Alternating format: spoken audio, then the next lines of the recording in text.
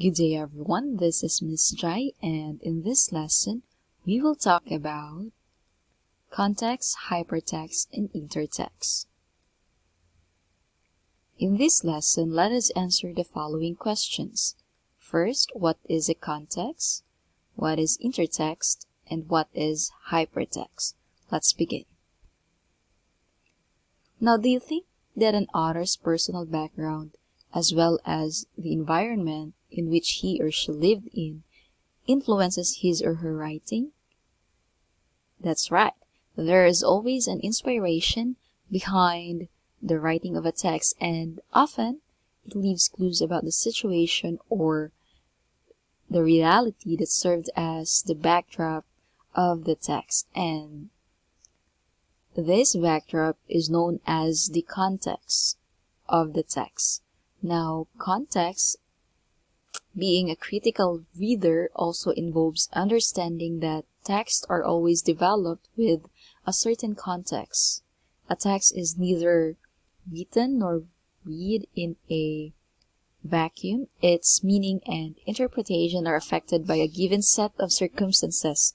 Thus, context is defined as the social, cultural, political, historical, and other related circumstances that surround the text and from the terms itself from which it can be better understood and evaluated. And yeah, knowledge of the text context helps us in appreciating the text message more deeply. Now, in discovering a text context, you may ask questions like when was the work written? What were the circumstances and that produced it and what issues deal with it? When using context, try to represent several perspectives by citing different sources. Now, aside from asking those questions, there are also two techniques or ways in analyzing or identifying the context of text development. Another important technique in analyzing the context of a text development is defining its intertextual link to another text, or we call this intertext or intertextuality. Now, intertextuality is the modeling of a text meaning by another text. It draws origin from literature and asserts that text can only be understood in relation to other texts. This is seen when an author borrows and transforms a prior text or when you read one text and you reference another. This view recognizes that the text is always influenced by previous texts and, in turn, anticipates future texts. Also, Present-day texts are believed to have been based on or at least inspired by previously published literature. Now, while intertextuality seems to be largely applied in the field of literature, it has applications for academic or school-related and technical or work-related reading. Let's take a look at how we can benefit from intertextuality. First, we can widen our knowledge. Now, reading more leads to knowing more, and that can help broaden what you know about the topic. And we can view different texts and different perspectives. When we say perspective, it is the way you see something. Now, when referring to different text and authors, it helps in giving you other perspectives about the same topic, preventing you from having a fundamentalist view of things, when we say fundamentalist means it means having a strict literal interpretation or a literal view on a certain something. And lastly, we can be more certain of what we know. Finding out that your ideas match the ideas of the previous authors helps validate the things you know. It makes the information credible, right? Now, Another technique in analyzing the meaning behind a text or the context is the hypertext. Now, traditionally, reading was viewed as a linear process where you read from the beginning until the end. However, the advent of the internet and technology has created ways of reading and processing a text, which includes hypertext. Now, when we say hypertext, it connects topics on a screen to related information, graphics, videos, and music, or information is not simply related to the text.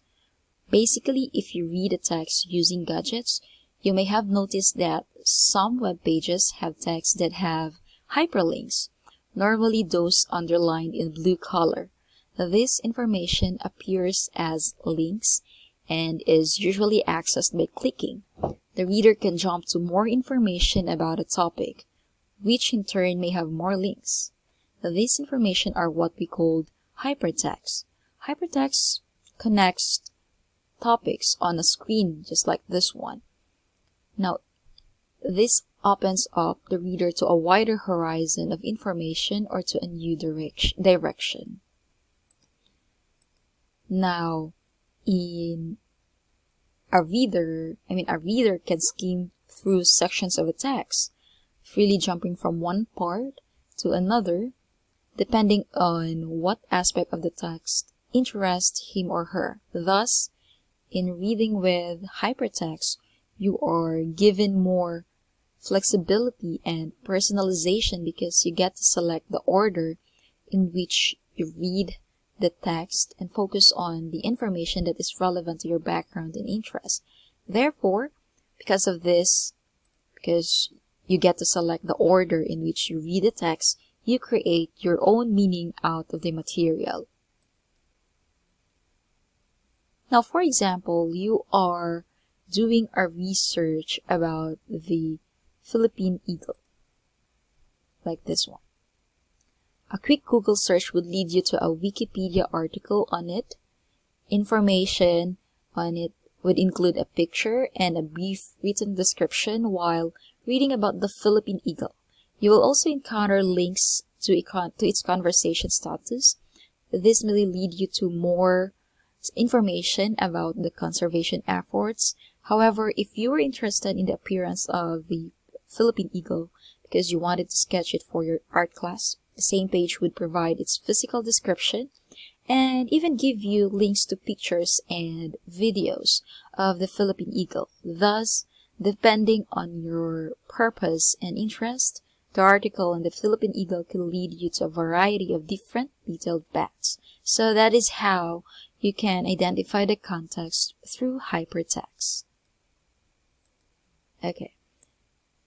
Now, to end this lesson, don't forget these very important lessons. First, the meaning of the text can be determined based partly on the context in which it was developed.